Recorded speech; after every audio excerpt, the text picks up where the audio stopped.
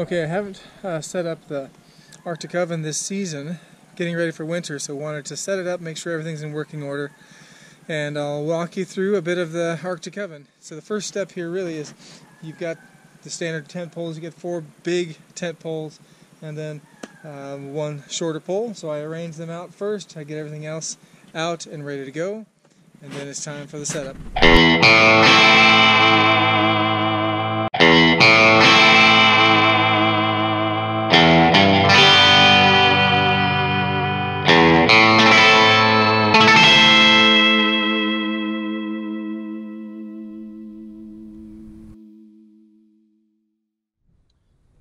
Next uh, I'm inside the vestibule, which is great. The vestibule in this is huge uh, for for the uh, Arctic Oven Igloo. It is one of their smaller tents, definitely one of their more storm-proof. They've got they're all bomber tents that they make. This one uh, is that perfect blend, as far as I'm concerned, of lighter for an Arctic oven, but absolutely bomber. So you've got the durability of a Arctic condition, uh, full-on winter disaster tent with uh, you know reasonable portability on a dog sled. Uh, you can haul it with a machine, of course, but if you're looking at uh, hauling hauling a gear, hauling your gear with a sled, uh, team of dogs, this is very doable. Palacious. Let's go inside.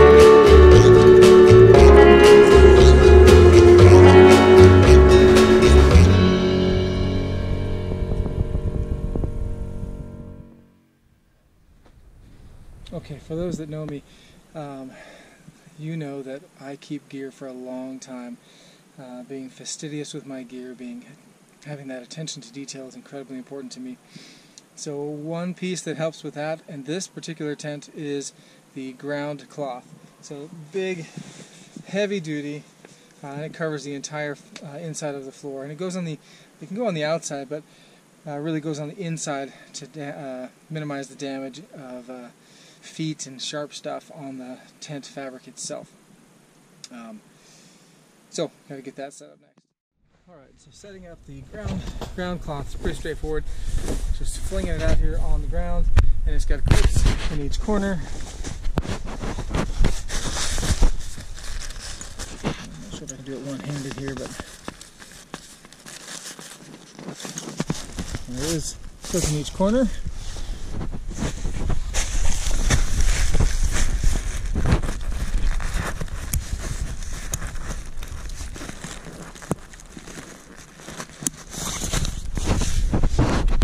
Do that uh, four times, then you've got ground cloth in.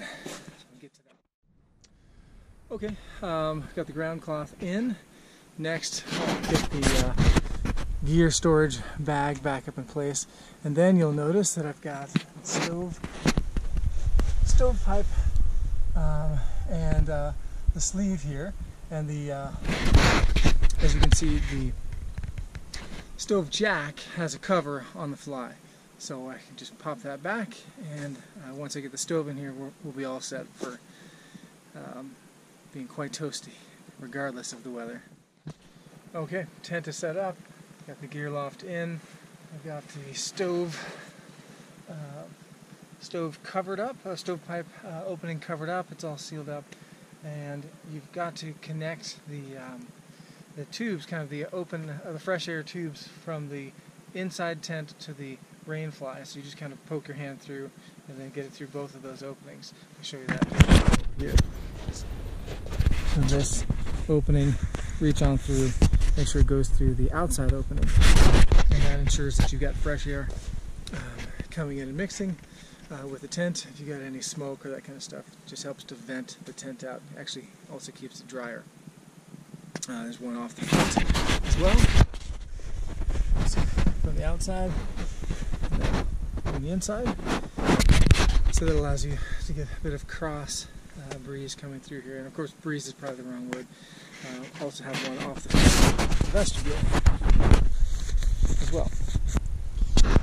So if you did, did need to use propane um, or white gas as you're cooking inside the stove or inside the oven, um, that allows you, the Arctic oven, that allows you to have a bit of oxygen coming through, and minimize uh, minimize risk of uh, carbon monoxide poisoning. As you can see, it's quite big. Um, plenty of room for two and all the gear that you'd have for winter, uh, including a wood stove getting set up here, you know, right here in the in the middle. If you've got two cots, um, all your gear, you've got the vestibule, uh, two people. This is all the room you could ever need uh, for uh, extended wilderness tripping, um, and then you could definitely fit, you know, three, a third person, uh, even a fourth. Um, with some comfort. Um, with the wood stove in place, you're really starting to limit yourself. Uh, third person could work, certainly. Fourth is going to be real tight. Um, but, you know, um, desperate times. I was setting this up just to get, um, just to get a sense of if there was any uh, drying that I needed to do or how the fabric was lo looking. And as soon as I got the rain fly out, it started raining. Um, it's been holding off all day, so I figured, well, uh, it's it's just not going to rain. Uh, but it is.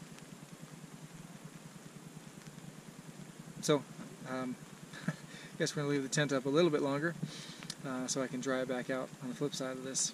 Thanks for watching. Uh, we've got a lot more coming this winter, a lot more footage coming. Um, we're setting a goal for a weekly upload and even if we kind of miss some of that goal, we'll be doing a lot of winter treks uh, with the dogs, without the dogs, um, and we are very much looking to bring you along.